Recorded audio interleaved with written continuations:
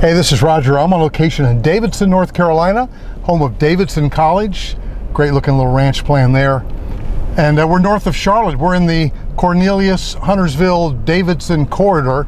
And uh, Chesmar Homes is building out some great new home product. They've got a lot of ranch homes, uh, some one and a half story like this one.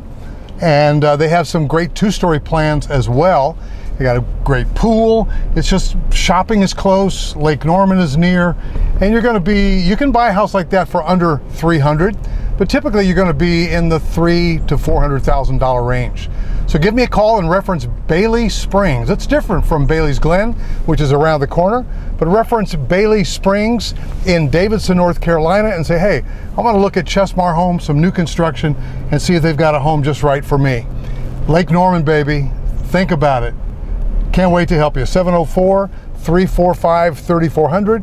And we're coming up on the model home right about here. I can't wait to talk to you and see if we can get you in Bailey Springs.